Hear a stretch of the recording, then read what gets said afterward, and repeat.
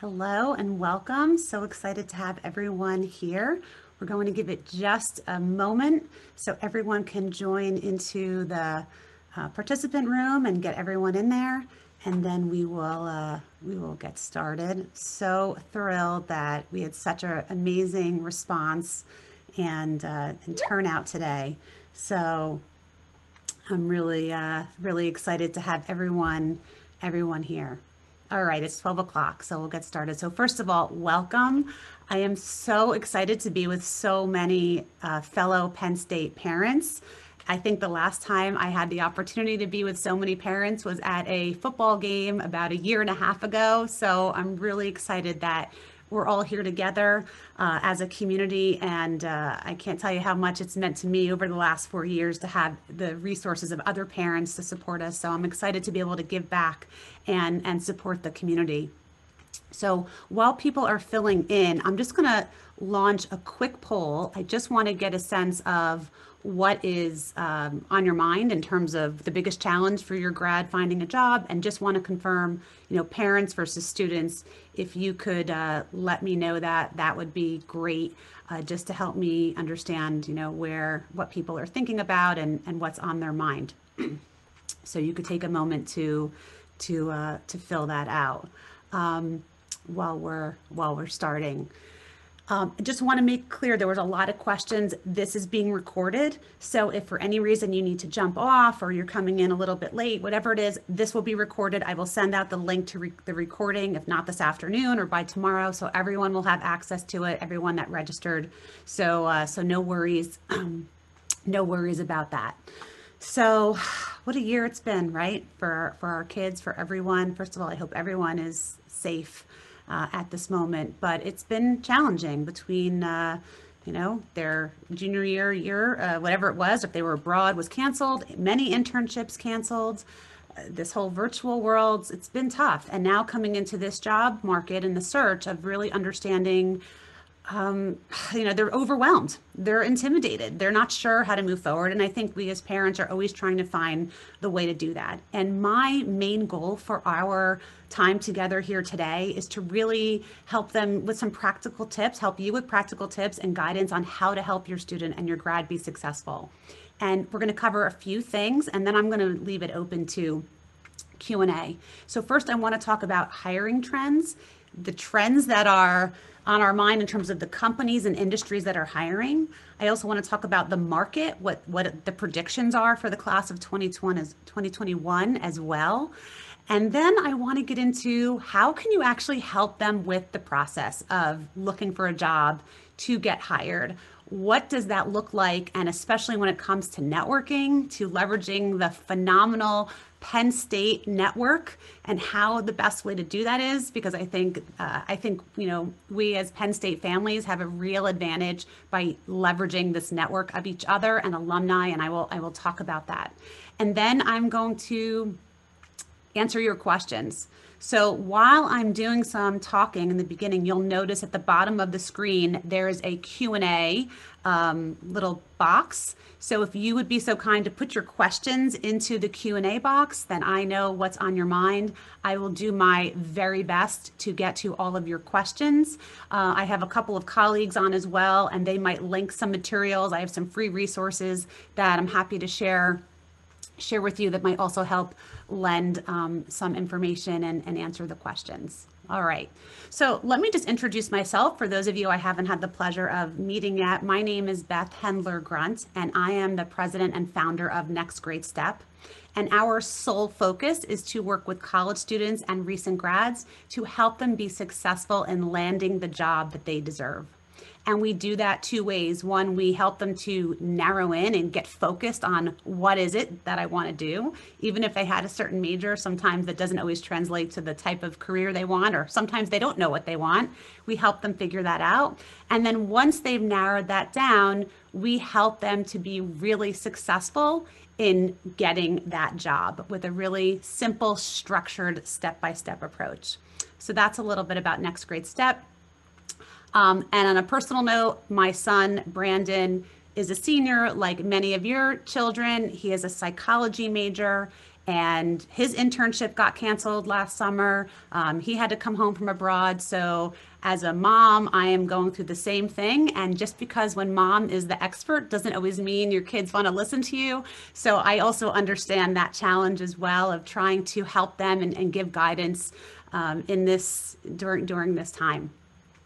Um, I wanted to share what some of you said with me before we got on. I had asked everyone in the registration just to share, you know, what's on your mind in terms of what's the biggest concern that you see. And about 40% of you said, you know, the, the term of just find a job. I just need my kid to find a job. It could be in the right field or with a good company or with good pay or that it's challenging. So I think, you know, a lot of you have that on, on your mind of just, I just need them to get something in, in one, one of those aspects. Um, and then about 25% that said that you're really concerned about the market, especially due to COVID, which is absolutely legitimate. Um, the market has changed dramatically and it keeps changing, and I will address that a little bit. And then um, the concern about the lack of internship, you know, lack of chances for an experience for our kids to leverage that into a, into a role, and, and how does that affect their affect their search? And then other people said, you know, worried about competition, worried about career fair. I saw on the parent page the other day the comments about the engineering uh, virtual career fair. We can we can talk about that. Uh, but yeah, it's definitely been been challenging, and I agree with you know your overall feeling about these concerns. But I actually think that before we find the job, that there's ways to help our kids be better prepared whether it's with understanding their skills or how they target certain employers or how they build their network. And that's what I want to, you know, share a little bit about today. So here's the trends that we're seeing specifically in terms of industries and the types of companies that are hiring, because that's what we want to focus them on. We want them to be focused on where the jobs are and and how to you know we'll talk about how you have to transition from what you thought you wanted to where you need to be. But the types of jobs that really are hiring more growing um, sales business development in a lot of different sectors. So in manufacturing um, also technology roles whether it's sales or coding um, the need for data analytics uh, software, that is a really continued growing. It's think about how we consume information and how we are buying or purchasing and going about our day. There's a huge need in those businesses, whether it's, you know, the names you think of, Amazon, Oracle, Cisco, IBM, Netflix. Those are the types of organizations that are continuing to grow and need that technical type of role.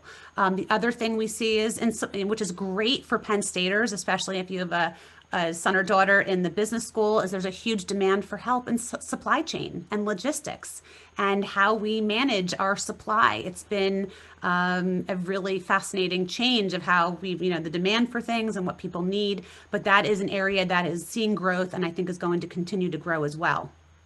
I think we're also seeing around us the construction market, real estate, uh, the amount of people that are moving or buying different homes, as well. And, and complement to that is the loan and mortgage market. They also have a huge need and demand to support all of that with, with the housing and construction changes.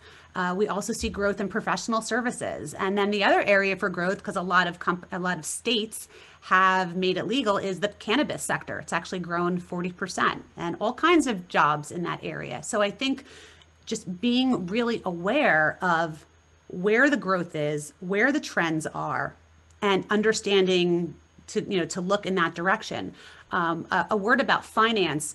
A lot of last year, finance was uh, hiring, doing well. Into the December timeframe, companies like Wells Fargo and J.P. Morgan pulled back and said they were going to slow down based on what they saw some of the results. And then I just saw something yesterday that Fidelity is growing and hiring. So I think it's just being really specific whether your kids are looking for analyst roles or whether it's in private equity, mergers, really just to be honed into the companies and the specific um, function that they're looking for, you know, in, in that industry.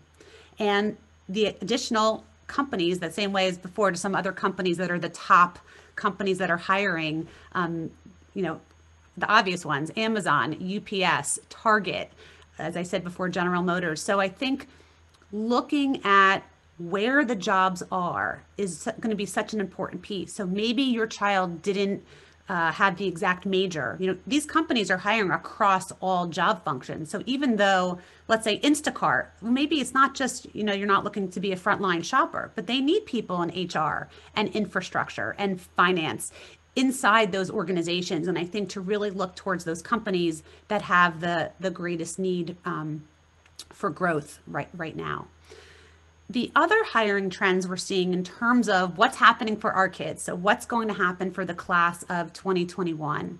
So, according to NACE, which is the National Association of Colleges and Employers, right now they see the hiring levels for 2021 to be the same as 2020.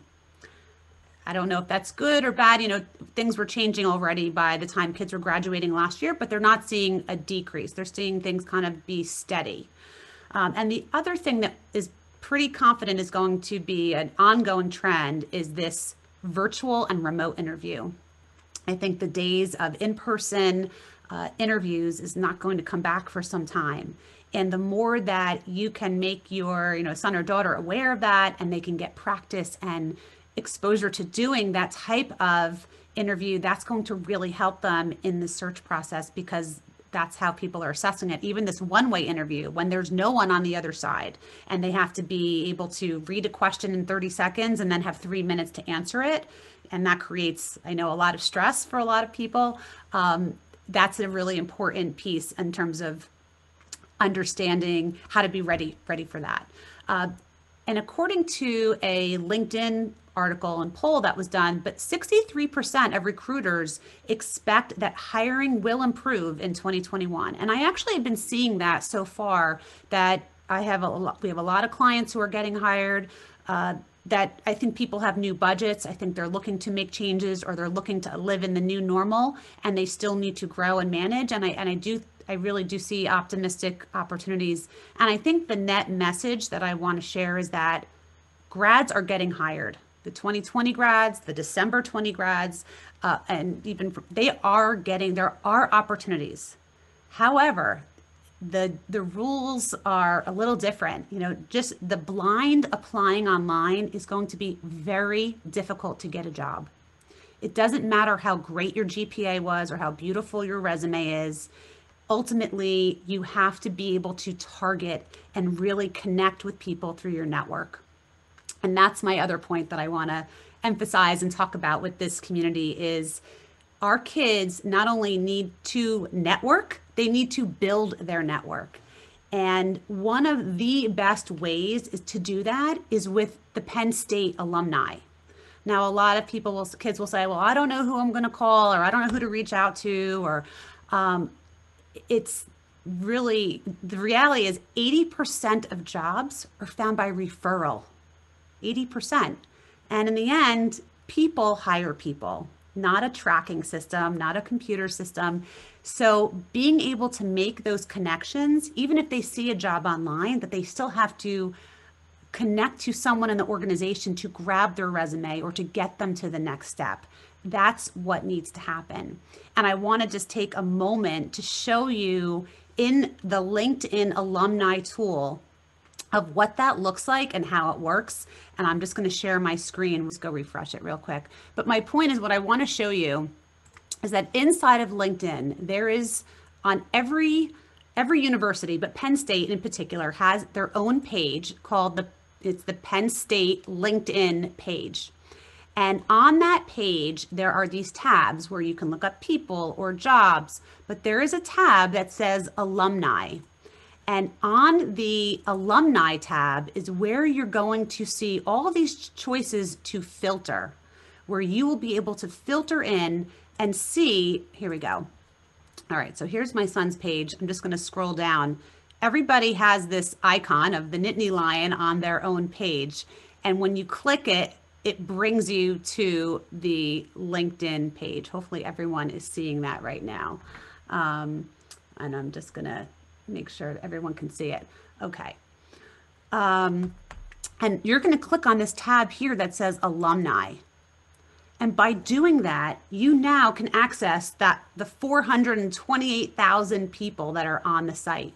And what I tell young people is it can be overwhelming, of course, that's a lot of people. Let's just try to find people who are recent grads who graduated in the last five to seven years. So I'm going to filter that. I can filter on top here, I could say, just show me anybody who started in 2013 and ended in 2020. So it kind of narrows it down and it brings me to those who are a little bit younger, maybe they're in junior roles, entry level roles, and that starts to narrow that down. And then I think about, well, where do I potentially want to work? Where would I want to talk to people? Maybe I want to work in Philadelphia. So it'll then narrow it down even further and then I can see, well, show me the companies of where these people are in the Philly area that they're working. Maybe I'm not sure yet. If I go to the next page, it will show me a list of what do they do, whether it's operations, engineering, education, and it also shows me what they studied. So maybe I want to get into information technology. So it'll show me people who are working in the Philadelphia area who, who um, are doing information technology.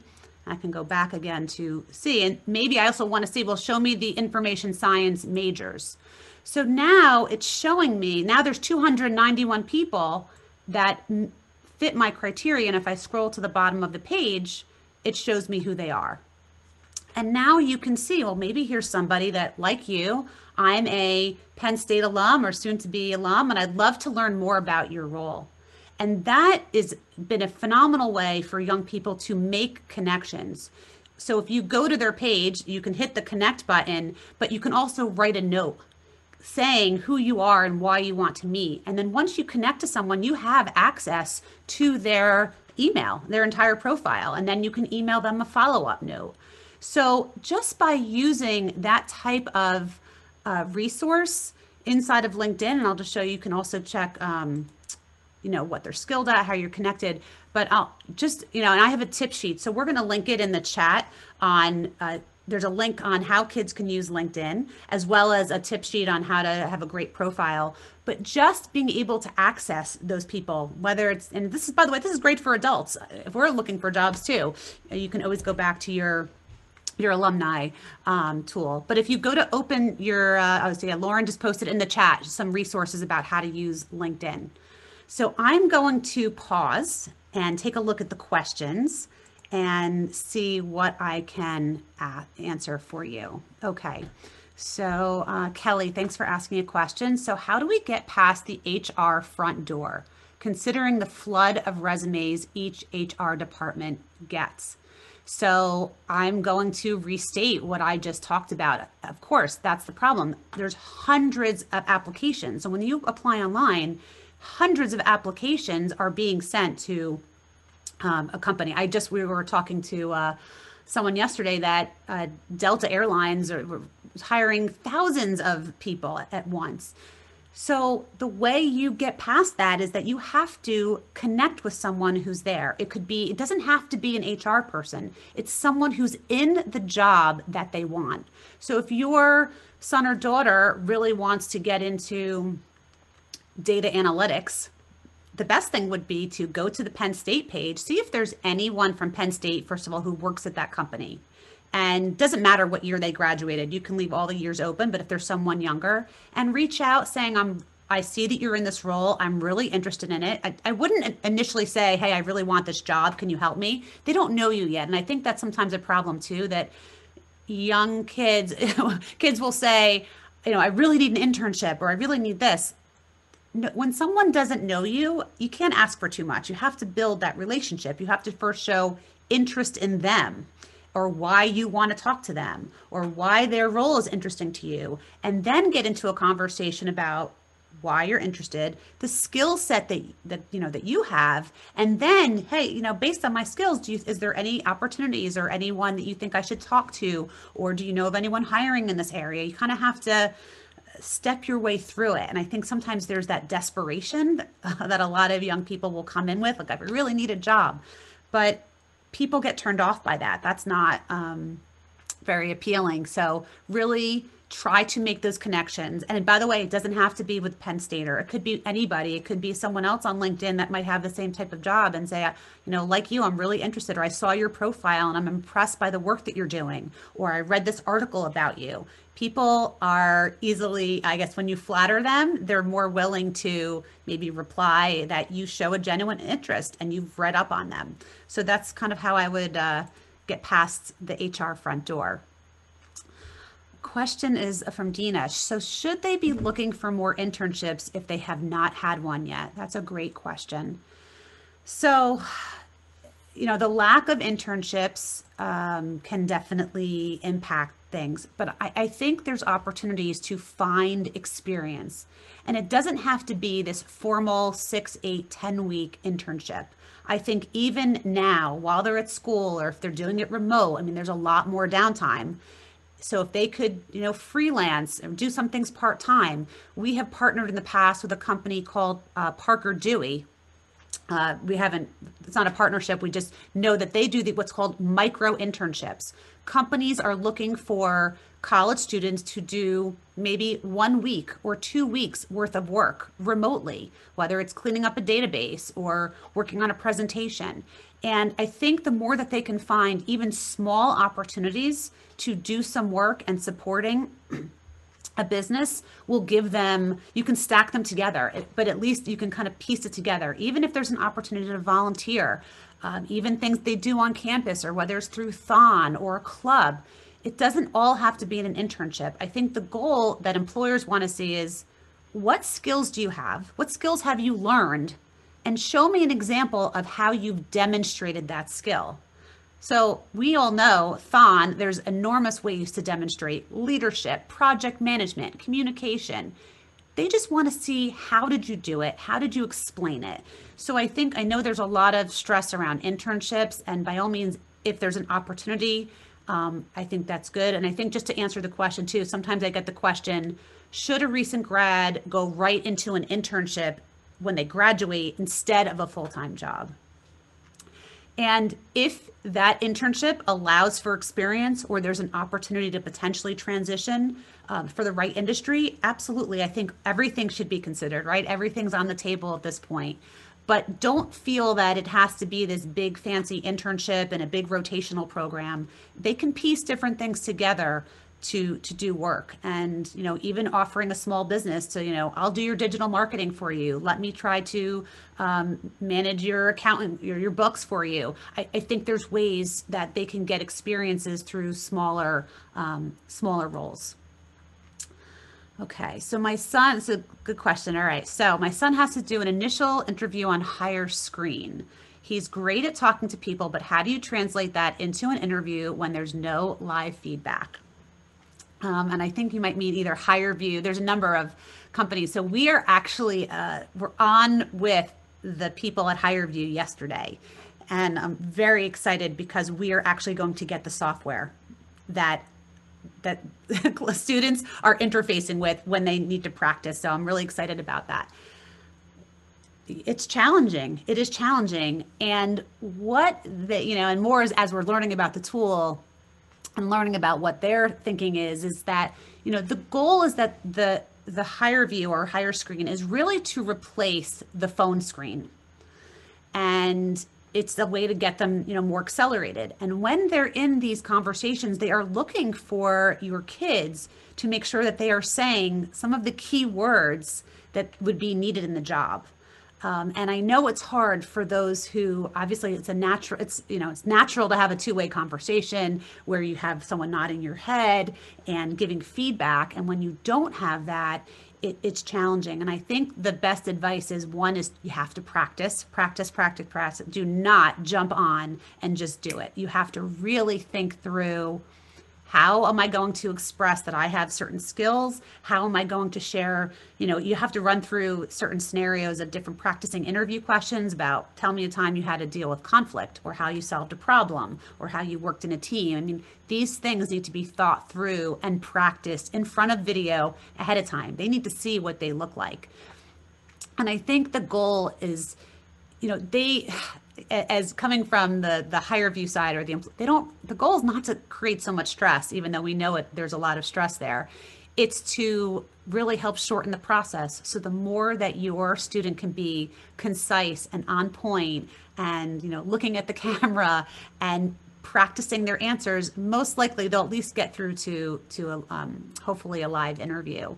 But uh, I think just really understanding what the company's looking for and how their skills align and match to it, and and there needs to be preparation. It could not be a you know I'll just wing it and let me just do it now.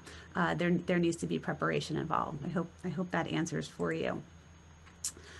Okay. Um, my son isn't sure if he wants a job based on his chosen major. He had a great internship planned for last summer. Um, and of course, it never happened. The internship could have reeled him in or helped rule him out, whether his major was of interest. Now he's just angry, disconnected, understandable, but time to rev it up for something. But where and what? Oh my gosh, I so get this. Um, you know, one thing that I didn't mention, and I'll say it now, that the toll that this has taken on our kids and especially their mental health is um, is you know immeasurable. We, you know, it's what it, this has done in terms of things being canceled or rejected. I mean, they're I feel that they're fragile, and they're struggling. And even though, you know, we give all this advice to say, go do this and go do that, it's mentally very hard when they've been rejected or when they haven't had you know an experience and they're just like why bother? Why bother? You know i'm not going to get it. It's really hard. And um, that's not uncommon. And then i you know that that feeling. And i guess you know as parents and i'll speak like as a mom you know we need to really be in tune to our kids about are they just stressed out because the job search is hard or is something more going on? And the need to focus on their mental health and get them support or really, you know, make, you know, really dive in and make sure that they're getting the help they need because we can tell them, you know, call this person or go to the alumni network. But if they're mentally not in the space, um, they need help. They need help. And unfortunately, you know, it's a crisis right now in our country how many people, everyone, especially our young people, need mental health support. So I don't know you who, you know, we haven't, we don't, we haven't met and talked and I'm not a therapist, but I have talked to hundreds of parents and hundreds of kids. And I can tell when maybe there's something a little that might need more attention. So that would just be my first, um, just first suggestion is make sure you check in with your kids and make sure they're okay or get them the help to be okay. And the job stuff can wait because they need to be healthy. That's, that's the priority. Um, and in terms of you know the frustration from last summer, I mean, first of all, I actually feel like you said he was in radio or podcasting. I feel like podcasts are exploding. Um, people are listening more, or taking in more. Um, content ever than ever like you know maybe create a podcast maybe it doesn't have to be there's things that they can do on their own maybe this is a time to take a mini course maybe take a certification maybe learn something that you haven't these can be short little mini classes in addition to what they're doing at school again they have some they have spare time unfortunately. There's a lot of downtime. So whether they never took you know that excel class learning pivot tables or maybe they want to learn data analytics maybe they want to learn sound engineering there's opportunities now i think to take also mini courses that can enhance areas that they're thinking about and that they might want to you know want to go into.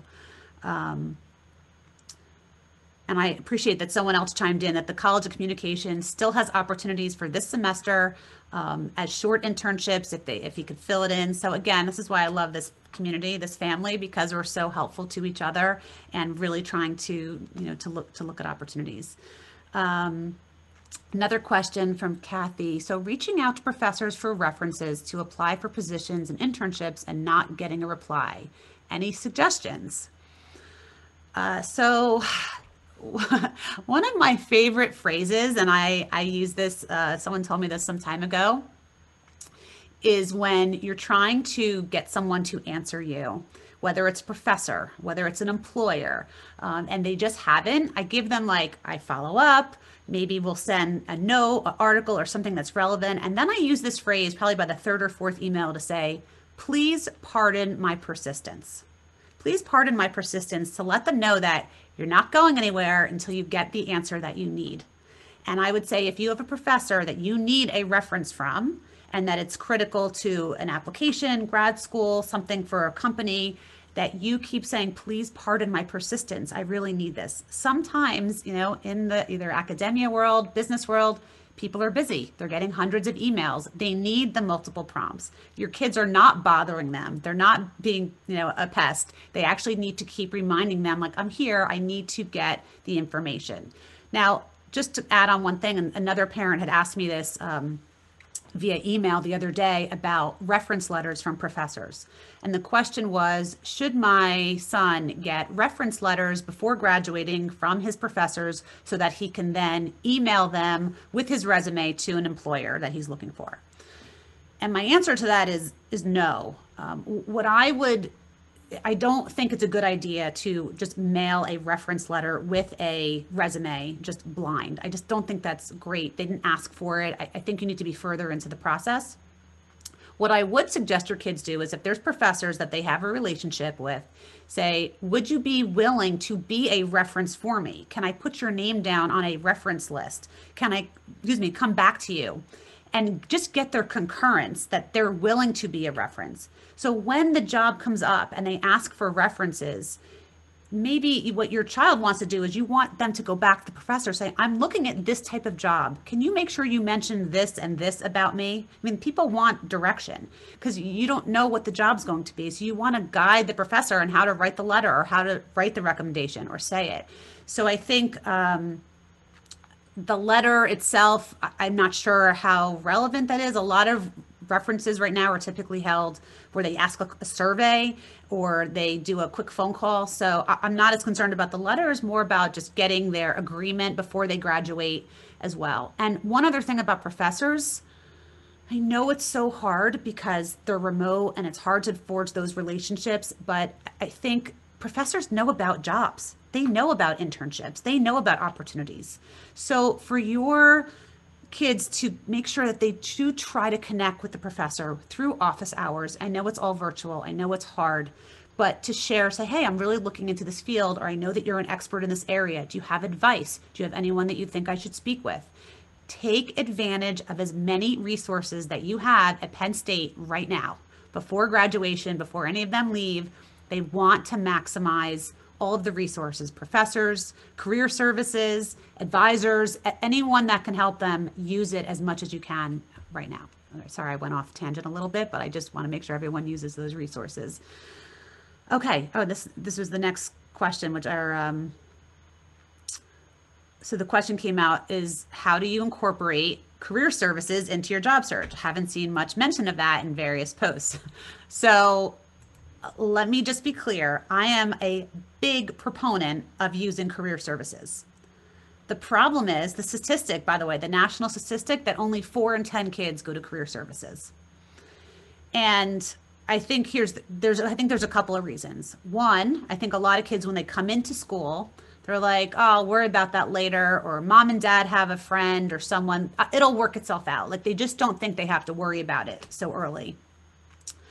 I think the other reason why kids don't use career services is that they're intimidated. They're afraid that if they go to career services and someone there says, Well, tell me what you'd like to do, or tell me what area you want to go into. And if they don't have an exact answer, maybe they're intimidated by that. Um, but I would say make use, again, make use of the resources you know, career services has to do their own sell job. The challenge in a lot of career services, and I won't speak to Penn State or not, is that a lot of times they don't have a lot of resources compared to the number of kids. So sometimes it's very, I, what I have found, it's very tactical. Like, well, here's a resume sample, or here's a cover letter sample. Well, that doesn't always dig underneath of like, well, how do I figure out what to do with my life? Um, which was one of the reasons why we we started this business. But I would say use career services, go call, connect. I think there is actually a session tomorrow that career services is hosting via Zoom, just coincidentally um, offered to every parent and student. But you have to make use of the resources. They're there. And I think um, the more, the better. Um, someone actually just asked about if there's another career fair for SMEAL this semester. Oh, yeah, the problem with like these virtual career fairs I don't know if there's one for SMEAL, but I'll tell you this in terms of just touching on the virtual career fair piece. Um, virtual career fairs are challenging. and I spoke with my son and a lot of his friends about their experience. And, you know, even one of them who's in SMEAL, in supply chain, he's in a Sapphire program, like getting all this attention, told me about how he would have to wait three to four hours to get into a room, you know, a, a virtual room just to speak to an employer and how the long lines, you know, that went from in person to online, or sometimes people would just drop off.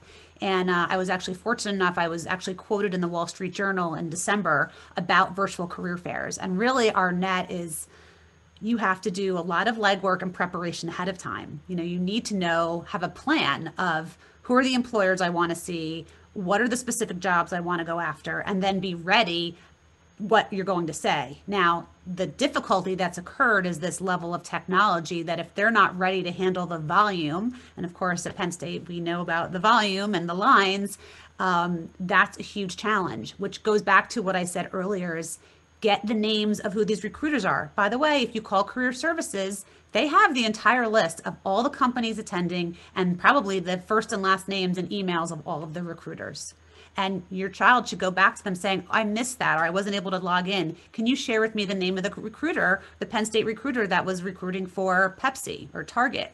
And they should reach out to them directly via LinkedIn or via the email. And they need to share with them why they, you know, what value they have to offer and why it might be worth talking to them further or why they're interested in the company. But it just goes back to there needs to be this perseverance and grit and especially when the, the virtual career fairs this year were tough. It just was tough. The technology was not always working right. Um, people were not prepared. There wasn't a lot of training. Uh, so you know lauren is actually she's going to put in the chat some uh, virtual career fair tips. We actually have a tip sheet that we have. So if there are any upcoming fairs, feel free to grab that and they can um, they can use it as a as a resource. But yeah, great question. Uh, and they're not going away, so we need they need to get ready to keep going on vir- virtual career fairs. Okay. Um, any insight for the hospitality industry, considering the hit it has taken due to COVID? My daughter's a hospitality major and graduating in May. So this is similar to the con- you know conversation we had earlier about who is hiring. Right, hospitality has been hit hard, entertainment, sports, the arts.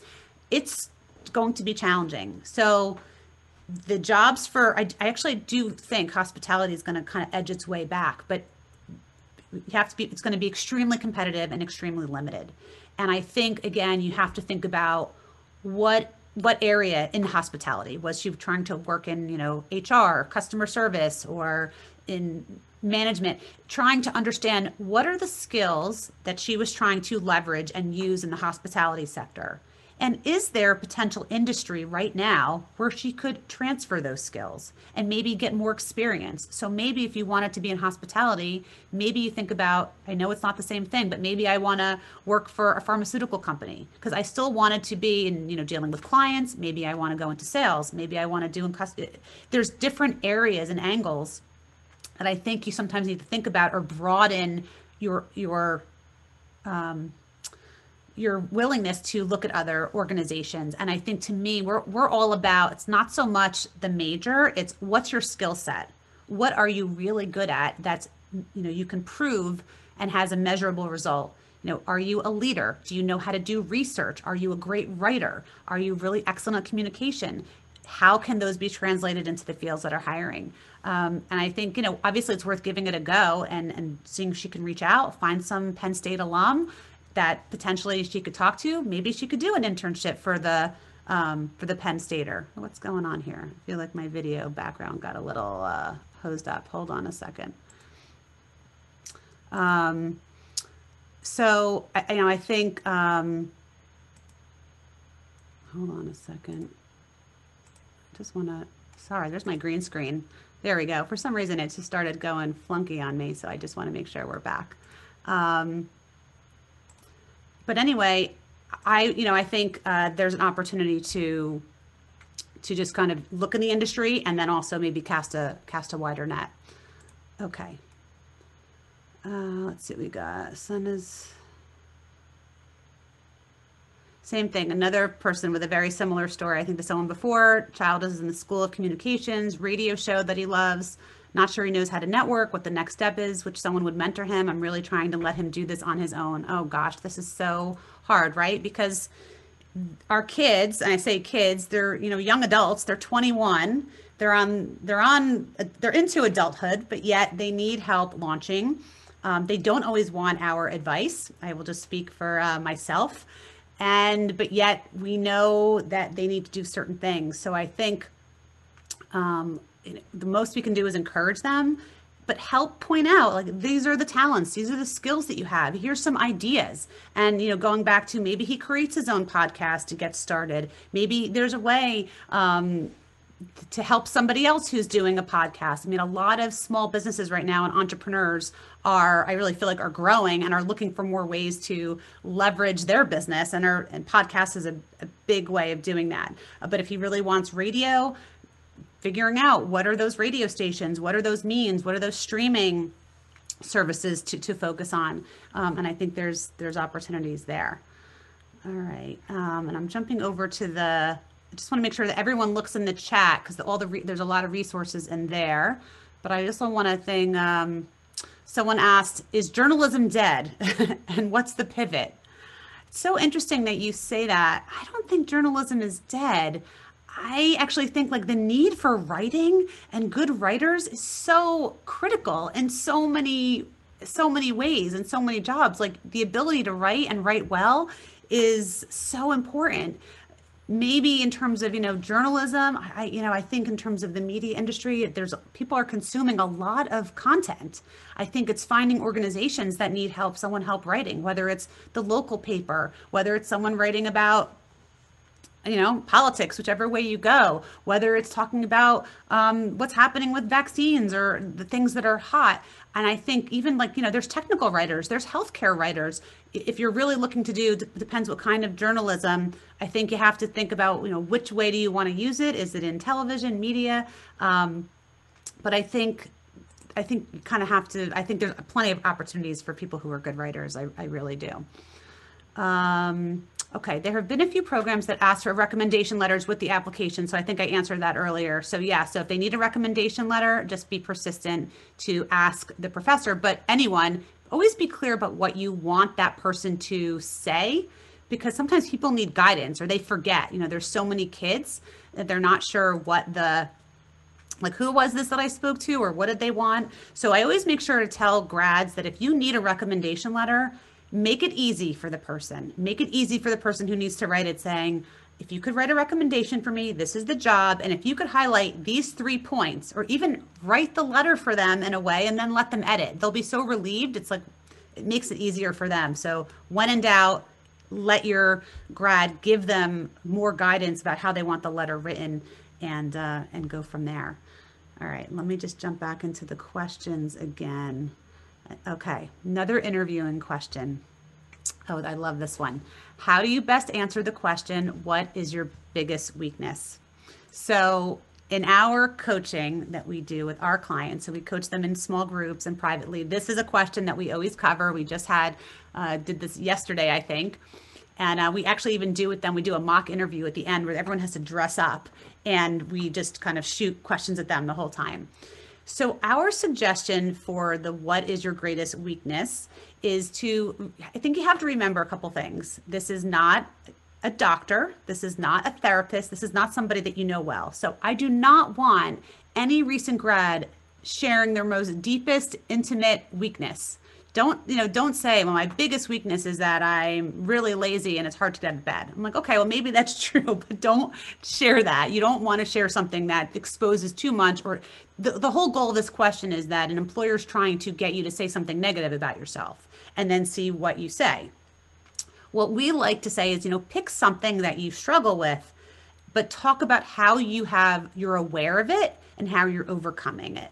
So for example uh, a greatest weakness could be um, I really focus in on the details, but sometimes I really like to hold on to a project and keep working on it. But what I've realized over time, working with a team or in a group project, that sometimes I have to let it go because I have to look at the greater good for the rest of the group. And I've learned over time that it has to be good enough. And I feel that's what my greatest weakness is. So it's the type of question that you're not lingering on it. You want to kind of answer the question and then get off of it. You don't want to go on and on about how terrible you are at something. You want to just identify one small weakness and what you've done to, and give an example of how you're aware of it and how you're overcoming it. So I hope that helps answer that question. We could do a whole thing just on interview questions. Um, my son is a CAS major. I'm not sure I know what CAS stands for, but he is doing his second internship with digital media company that represents influencers. Curious what type of other companies would be interested in this skill set. I mean, first of all, digital media is so big right now um, in so many companies because that is how companies are advertising, whether it's through Google ads or they're using Google Analytics, um, they're using Facebook ads, Instagram, TikTok. I, I mean, I think there's so many organizations, by the way, ones that are probably more established that are trying to understand how to speak to the communities that are on these different platforms, um, even in LinkedIn. So I think, you know, looking for companies that are any type of opportunity in the digital marketing space um, and digi- think about what kind of companies he likes. You know what is it he likes to be a part of? What kind of companies are of interest to him? But i think absolutely and that he has an internship now he can completely leverage that in, into another role so i think that's great and you always want to think about what have i learned in this role that i can now bring to another organization because in the end you know a lot of times our kids will come to interviews and they'll say I think this job would be great for me because I would learn this. And what we encourage them is say, don't do that. Don't say how it's great for you. When you talk to an employer, you want to go to the employer and tell them, based on what your focus is and your priorities, I believe my skills can help you to accomplish that because I want to help you grow. I want to help you accomplish your goals. That's what makes a candidate stand out over other candidates. So that's kind of like a really kind of, I'll say, secret tip there is if your kids really want to differentiate themselves in an interview, in their conversations, they need to focus on the employer and how they can help that person or that employer be more successful because your because your you know your child is on their team and and getting themselves in the other person's shoes that will make them more appealing to an employer all right, I hope that answered that question. Um, question So, my son feels like he's bombing at virtual interviews and now he's discouraged. How do I bump up his confidence? So, it's hard. It's so hard. The most important thing is sometimes see if he'll let you help him.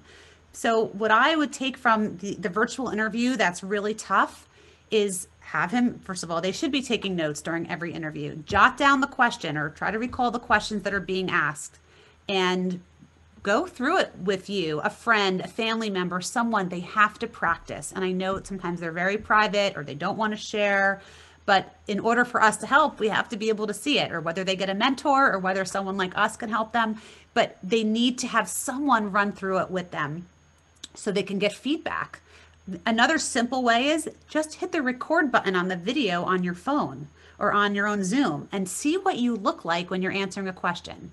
Practice answering the question, looking into the camera, and see what your voice sounds like. Are you, you know, stuttering over your words? Or do you have a clear story?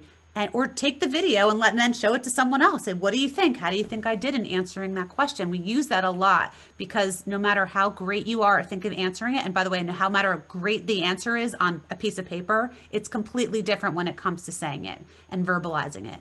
So it doesn't matter if your resume is stellar, if you can't communicate and articulate the value that you have, it's going to be hard. So practice, practice, practice is my is my net advice on that. Okay. Um, let me make sure I'm getting all these. We want our son to have the job that he wants in the location he wants. He hasn't had an internship due to COVID. We don't have any personal friends in the industry. At what point do we suggest he apply for any job in his field, even if it's not where he wants to be, so that he can gain some experience? Great question. We get this a lot. You know, this there's a point of a little bit of desperation of like, I'll just take a job. I'll take any job, or or you're telling them just go do anything. I, I, I would resist saying that. I think uh, there's a there's a you have to balance being open to multiple opportunities versus like I'll do anything for anyone. When we want our kids to reach out to someone, to connect, to make a connection. Very often people want to say, "Well, tell me, how can I help you?" or "What are you looking for?" So there's a concept that we teach and I'll just tell you briefly. We call it, you know, understanding your core skills. Core skills are three skills. It's those that are you are the most competent, most skilled at, and you enjoy doing. And it's based on actual experience that you've had. So if you were a chair for the th- one of the Thon committees, so let's say one of your skills is leadership because you had to lead a number of people to, you know, accomplish this incredible task this for this charity or maybe one of your skills is research, that you've done research in a lab for a professor, for a project, and you can talk about how you looked up information, you interviewed people, you, you know, looked at different sources. But having clarity on the skills will then help you say, well, if those are my core skills, what are the types of companies that need those skills? Or what are the kinds of jobs? Same thing. Go back to that alumni tool. Start looking at other Penn State alumni who had the same major, who maybe had the same interest or same skill set, and start talking to them about how did you make the shift from this major into the job you are now? What made you, you know, move in that direction? What maybe it's something that they never heard of. A lot of them they don't understand that there's thousands of jobs that they don't even know about and they have to, have to learn. So I know it's not a, I don't think I gave a simple answer, but I think the clarity on what they want and then looking for opportunities. If they say I'll do anything for anyone, it just it's it's so broad. It's hard to how do you know what to apply to? How do you know what people to look at? I, I think you need to have some focus. Is is kind of my my net feeling. All right. Um, any advice for getting jobs in the government sector? I've had some clients in the government sector. You know, one of the biggest issues with the government sector is you have to have all the security clearances done. So depending on where you are, I mean, security clearance could take like six months, a year. Um, so it just depends on what you're looking for. So I know it's kind of an, a broad question. The same thing I'd have to say, you know, what part of the government are you looking to work for? What type of role? Uh, understanding that. But the other challenge is that the background check and the clearance process in a lot of government positions really extends it out. So maybe you want to be applying to some non government jobs while you're applying to the government roles because that can just take some time. Um, but I need to understand a, a, touch more just to hope that helps.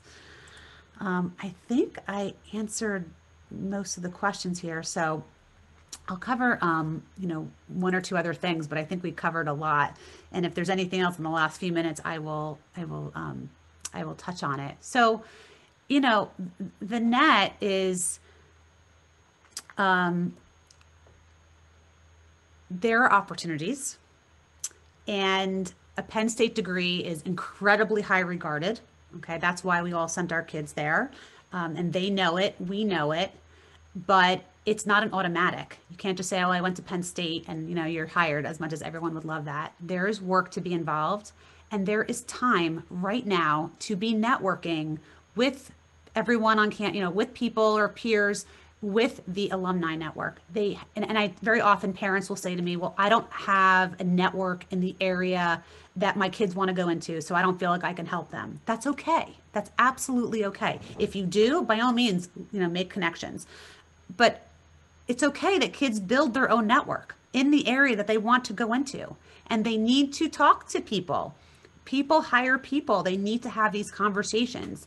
And that is what leads to them being pushed further into a job opportunity. There's hundreds thousands of jobs that never get posted. Never get posted and that's how they tap into what's called like the secret or the hidden job market when you start networking that's how you, our kids are going to find the opportunities that were never even on the job board. And you know what happens when you start talking to someone who knows about a job that's not even posted? No one wants to go through the process of hiring an interview. They get fast tracked to the person who's hiring because it makes it easier. If they come across as the right candidate, that is how you get into a job and you can bypass this whole online application process. Um, and the other thing is they have to persevere. I know it's hard. This takes like persistence and sometimes it doesn't feel very good and the rejection is hard. It's not personal. It's not personal. I know so many of our kids take it that way, but it's not personal. It's business. And we need to get them in the mindset that it's okay. You got to just keep going.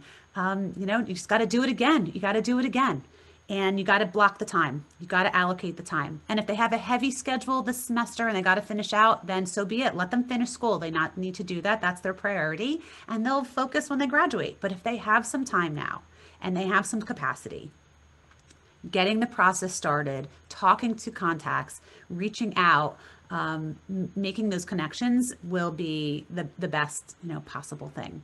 Um, and if there's any way, you know, that we can provide any additional support, uh, you could just reach us at our website, nextgreatstep.com. In the contact us, we do a, also a complimentary consultation for any parent or child for 20 minutes to see if there's there's an opportunity to support. But I'm not here to, to sell you. I really wanted to just offer value and see if we can help answer some questions. Um, and if need be, we can do this again uh, in another month or two if we feel that there's enough um, enough interest in in getting getting more information. Um, let's see, I have one or two more questions before our time is up. So I'll, I'll, I'll take it right till one o'clock. So here's another question. How do you deal with job experience that is not related to your major on your resume, like a camp counselor? Sometimes that is most of what you have. Perfect question. I, that is super common where kids are camp counselors. They deliver pizza, they scoop ice cream. And I think in every experience, there's something that they learned that came out of it maybe when they were a camp counselor they had to manage you know 15 children. Maybe that shows leadership or their ability to communicate. Maybe they did talk back to parents share with parents an, an update.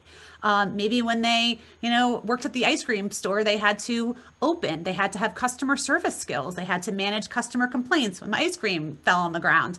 I, I think there's ways to show how they are able to build a skill set even though they might feel like, well, I was a camp counselor, that's not the same as having an internship at a Fortune 500 company. That's okay. That's who they are. They're young. This is what they do. I think it's just being able to explain how you've had those experiences and how that could help an organization.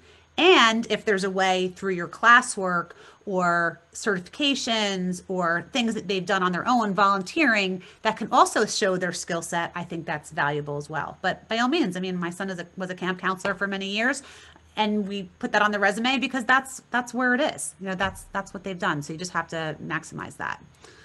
Um, let's see we got another question. Okay. So how can the student access Lion Link? is this different than the linkedin tool? So i don't know too much about Lion Link. i'm guessing that's behind the penn state website firewall. Um, i'm pretty sure that but that is different than linkedin. So linkedin let's just it's a social it's a business social networking site. So let's just start off if, if your kids are not on it if you're not on it i encourage everyone to get on it. It's free. But it really is the de facto business networking site and how it works is that the more connections that you have, the better the information is that you see. So you can follow companies, you can follow people. By the way, anyone on this call, please connect with me. I'd love to connect with you on LinkedIn. I post uh, every week, I write blogs. You can kind of get a sense of what we talk about. I give advice there. But your kids should be connecting on LinkedIn with every single person that they know at Penn State who they find on LinkedIn and or any adult any professors, any uh, anyone they need to to to build that network. So yeah, I think those are two different things. So LinkedIn is a public social media business platform. The Lion Link is more of the behind the firewall. I think it's through you know behind Penn State, and there is a tool probably through Career Services um, and the Penn State tools that you can access. I just don't know specifically which one, but by all means contact Career Services and find out what it is, so that way they have access to that. All righty. Okay. Um, I'll give you one more. Okay, so I'll give you one more. So just to before some people leave, I'm recording and I will send everyone who registered, I will send you a link to the recording. I will probably put it up to like a private YouTube so everyone will, will have access to that. Uh, last question. So can a candidate look for a job in their minor versus their major? The major was energy engineer and the minor was environmental engineer. What are the chances of landing a job in your major?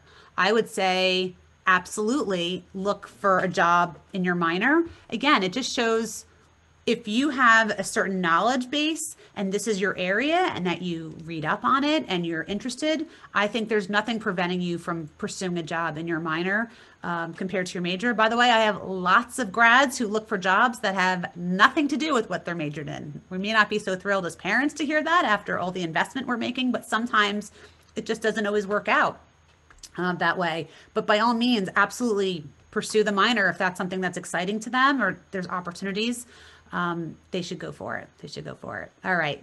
So we're at the hour. I am so thrilled with the um, amount of people who joined and the interaction and the in, uh, the questions. And um, I hope this was helpful. Um, my goal is really just to you know offer support and advice. And again, I'm on every social media. I'm on. I have Next Great Step is on Facebook. We're on Instagram. Um, you can follow me directly or connect with me on LinkedIn. And uh, I've played around with TikTok here and there, not too much, trying to figure it out. But um, but my goal is, you know, to really provide to be a, a source for for fellow parents because uh, we're all in it together. And uh, cross fingers that maybe we could see each other at some kind of graduation in the future. So again, thank you so much for uh, for joining. Any questions you want to learn more about what we do at Next Great Step, please go to our website, nextgreatstep.com. Click on the Contact Us uh, page and we'd be happy to connect with you. Thanks so much and uh, have a great day.